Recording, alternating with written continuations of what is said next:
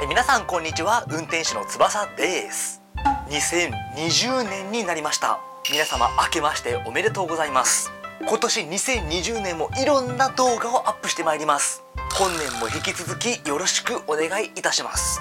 で元旦に私翼が出す動画といえばそうです。ドンジロです。一昨年去年とドンジロの動画を出してすっかり毎年1月1日恒例の動画になりました。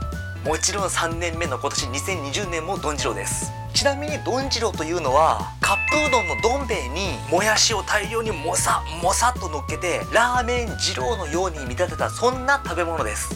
お腹も空いたことですしそれでは早速ドンジロー2020作っていきましょう。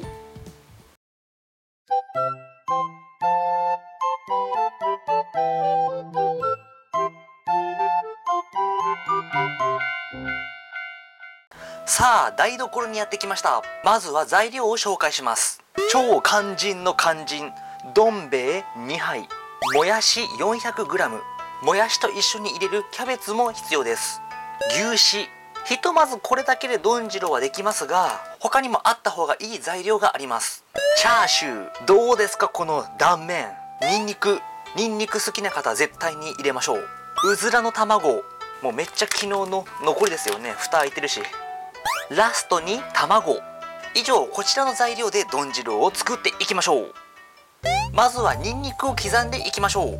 この皮むくのほんと時間かんですよね。ニンニクさんをこうやって皮むいてこれもういつも手が臭くなるんですよね。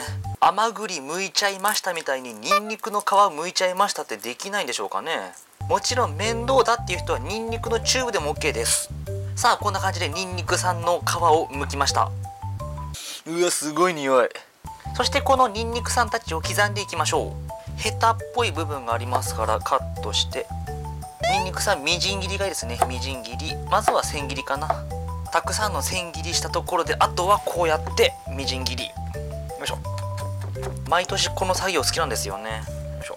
さあこんな感じでニンニクさんたち刻みました。あとは次の工程に移りましょう。豚さんを刻んで電子レンジで温めていきましょう。まず開け方があここだ開け口。おーおーテッカテカ。まな板の上に置いてドン。いやほんとこの断面すごいですね。豪快にザクッと切っちゃいましょう。まあベーコンのようなハムのようなそんな感じです。もうちょっとリアルな二郎の豚を再現したい方は焼き豚やチャーシューよりも角煮を選んだ方がいいかもしれません。刻んだ豚さんたちをお皿に入れて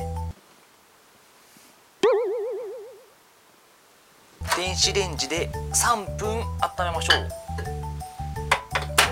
待ってる間に次の工程に行きましょう。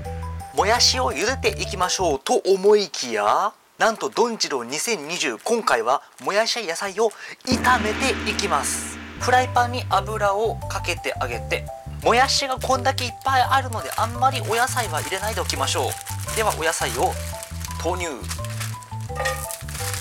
こうやって人参入れると結構見栄えが良くなります。たまに二郎インスパイアのお店行ったら野菜の中に人参が入っているってことありますよね。おおキャベツ飛んだ。あそこに肝心のもやしも投入しましょう。そのままどうぞ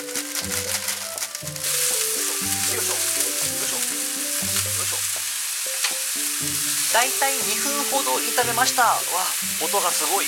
もやしたちがいい感じにシャキシャキとしなしなの中間ぐらいの硬さになりました。あとは火を止めてしまいましょう。最後にどん兵衛。相変わらず豚骨ラーメン博多風流のこちらの丼使います。どん兵衛のパックを開けて。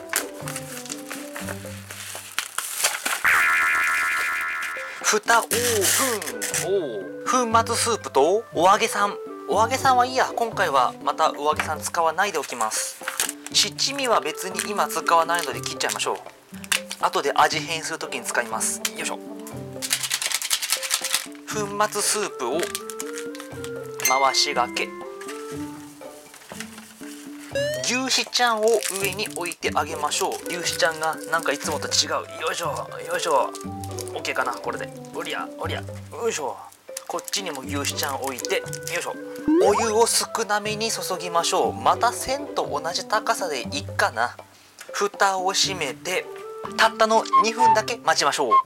さあ2分経ちましたので置きましょう。置きましょう。蓋オープン。おーおーおーおもう結構茹だってます。牛脂ちゃん溶けきれてませんけど OK です。入れちゃえ。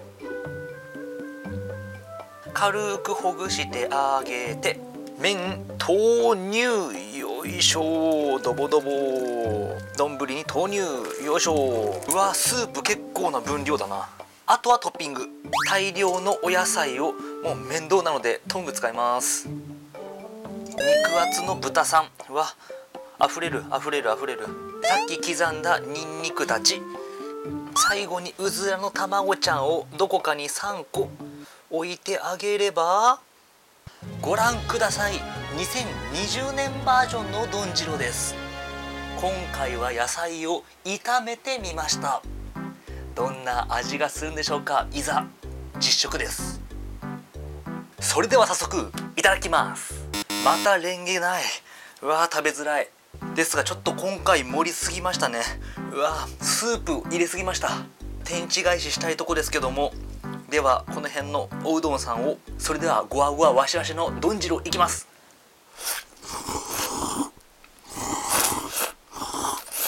うん。あー年が明けた。相変わらずうどんっていう感じが全然しませんね。やっぱ年明け一発目の料理は丼汁に限りますね。今回は野菜を炒めてみました。普通は茹でるのですが今回は炒めてみたそんなお野菜たちもいきます。うんうん。2分ほど軽くさっと炒めましたので野菜のシャキシャキがすんごく残ってます。そのまま食べても美味しいですしスープにくぐらせてから食べるのもいいですね。うん。うずらの卵さんも。それから5切れ中2切れしか置けなかった焼き豚さん。うんうんニンニクも効いてていいですね。よし天地返し。さてそろそろ味変といきましょう。まずはブラックペッパー。もうすんげえもう残りわずか。ブラックペッパーを麺の上にこうやってかけてあげて。そしてブラックペッパーの麺をブラックペッパーの味変いいですね。刺激がきます。それでは生卵ですき焼き風に。生卵毎年やってるけどこのネタわかんのかな？赤マムシ。もうほんとあのコント大好き。こうやって卵さんをかき混ぜてあげてこの中に麺を入れてあげて軽く卵をくぐらせた丼汁いきます。うん。マイルド。最初にこのすき焼き風のを思いついた人誰なんでしょうね。でも国民栄誉賞でしょ。それぐらいベストマッチ。あとは七味。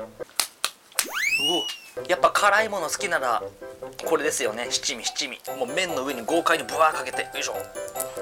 少し辛くした丼汁をも。おい七味。さっき乗り切れなかった豚さんたち3枚を乗せました。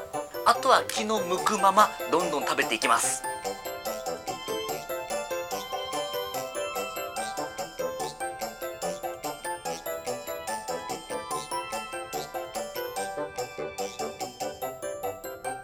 うんうん豚さん美味しい。すき焼き風のお野菜もシャキシャキで美味しいですね。というわけで2020年の丼次郎も完食しました。ごちそうさまでした。今年2020年の丼次郎もなかなかの出来栄えでした。上に乗せる野菜たちを炒めるとまた新しい食感に出会えます。